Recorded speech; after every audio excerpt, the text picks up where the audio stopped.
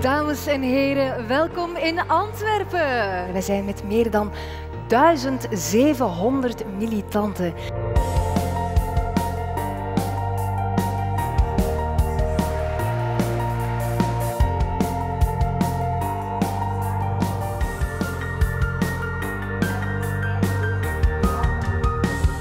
Het is onze ambitie om opnieuw vooruit te gaan.